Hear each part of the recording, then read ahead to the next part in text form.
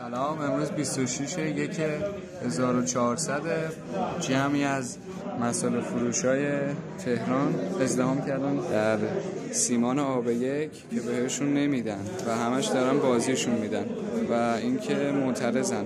این گزارش رو واسه گزارشگر خوب من و تو می‌گیرم. با وجود اینکه ظرفیتش رو دارن و اینکه می‌تونن کار رو خیلی راحت را بندازن ولی خب انجام نمیدن دیگه.